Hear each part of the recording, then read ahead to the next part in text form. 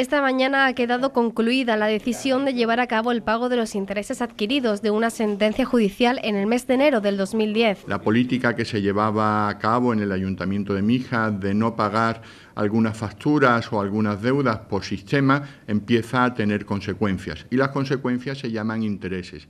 Y el dinero que tenemos que dedicar a pagar intereses es dinero que no podemos dedicar a hacer obras en la calle o a mejorar la calidad de vida de los vecinos. En concreto se trata de los trabajos de obras encargados a la promotora Vitania Residencial, cuyos intereses han ascendido a más de 277.000 euros. Estas son las consecuencias de no llevar una política de pagos responsables y de no saber gestionar el dinero oportunamente.